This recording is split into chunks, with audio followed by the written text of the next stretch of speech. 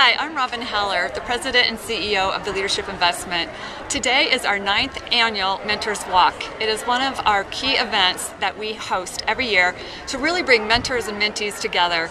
Um, I am super excited for today. It is actually my first Mentors Walk um, in this capacity, but also over my years of experience with this organization.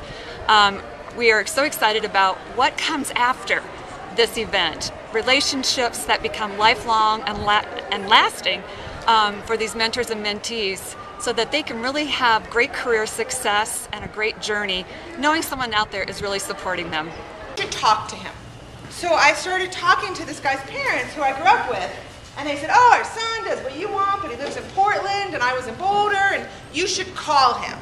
And I'm 23, and I don't know him, I've never met him, because, you know, I was old, I was much younger.